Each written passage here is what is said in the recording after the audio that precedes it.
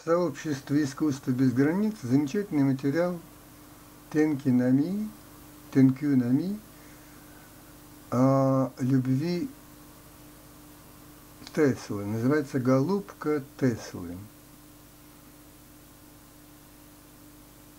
Никола Тесла посвятил себя науке, пожертвовал семейным, пожертвовав семейным счастьем.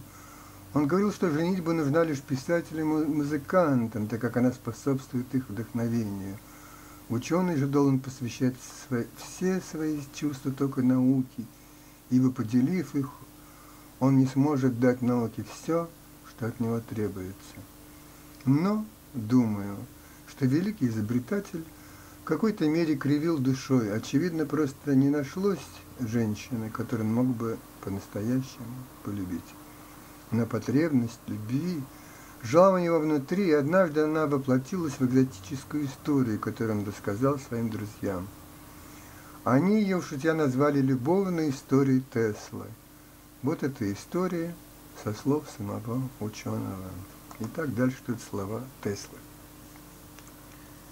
Я кормил голубей тысячи годами, тысячи их, ибо кто может их все, все запомнить, их всех запомнить. Однако тут оказался один голубь, удивительная птица, белый, со светло-серыми пятнами на крыльях. Он сильно выделялся. Это была самка. Я мог узнать ее повсюду. И она также могла найти меня где угодно. Было достаточно, чтобы я просто подумал о ней, позвал ее, и она прилетала. Я чувствовал ее, и она чувствовала меня. Я полюбил эту птицу. Да, я любил эту птицу, так как мужчина любит женщину. И она тоже любила меня. Когда она заболела, я об этом знал, она прилетала в мою комнату. Когда она заболевала, я знал, она прилетала ко мою комнату, я днями ухаживал за ней, пока она не выздоравливала.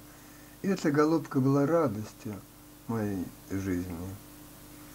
Пока она нуждалась во мне, все остальное было неважно. Она была смыслом моей жизни.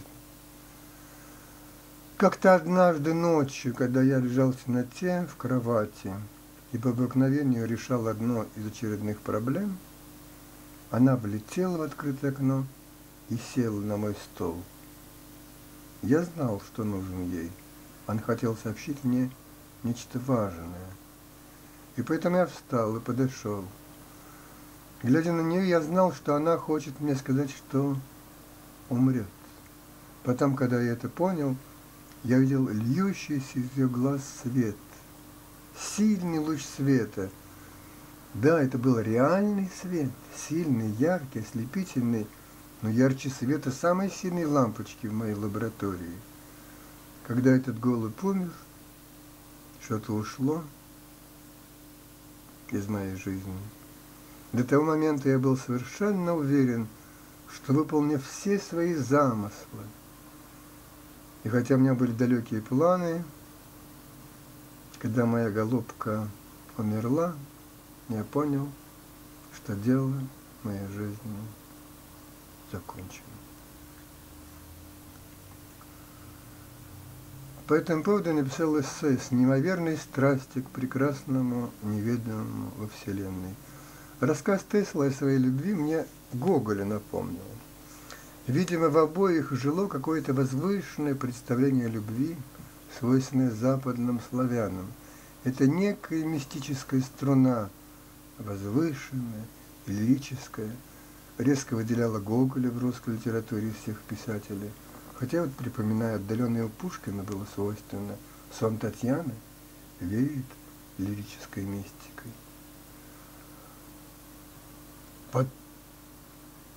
Потом как-то попалась и поэма Жуковского, и не одна, о смерти и любви. Но у Гоголя с Теслой очень близкие, почти совпадающие слова и поворот любовной истории. И уход из жизни Пульферии Ивановны – и уход из жизни Афанасия Ивановича предваряют и видения какие-то близкие, и слова. Это за мной пришли. Да и не помню, чтобы самого Гоголя была бы возлюбленная, кроме музы, как и у Теслы.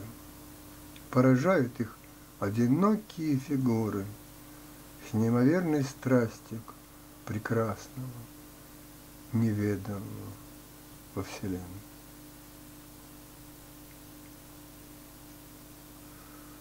По этому поводу Тенкинами написала, вы хорошо подметили возвышенное представление любви, свойственной западным славянам. Но вот у меня еще возникли мысли. Непонятно, как мог литься свет из мертвого голубя или из умирающего. Хотя ведь видел планету на небе Свифт, которую видел только с изобретением телескопа. Поэтому от науки, вероятно, видеть то, что не видно, видимо, дано, то, что не, не видно ни поэтическому взгляду. Возможно, при этом сознание усиливает эти сигналы в их головах до более мощных явлений, ну, что известно под названием озарение. А в словах Тесла это даже был луч света, в которых невозможно сомневаться, но и невозможно представить, или нелегко представить. По этому поводу Тенки нами написал, насчет света из глаз птицы я тоже вначале призадумалась, но потом вспомнила или прочитала случайно, что у птиц от того, что они ориентируются при перелетах по магнитному полю Земли, есть сетчатки глаз особые магниторецепторы, которых у нас нет. Тесла был исключительно человеком, причем в его исключительность была в том, что он был очень чувствителен именно к электромагнитной составляющей нашего мира. Это подтверждали многие его современники. Вполне возможно, Тесла увидел или почувствовал какие-то изменения в этих рецепторах в глазах умирающей голубки и принял их за свет. Магниторецепторы и послания, и свет – может, судорога предсмертная дала напряженный поток. Может, сожаление об уходящей жизни. Может, жизненный сгусток электромагнитный полетел в космос, чтобы где-то породить жизнь. Вот опять Тесла оставил интересную задачу.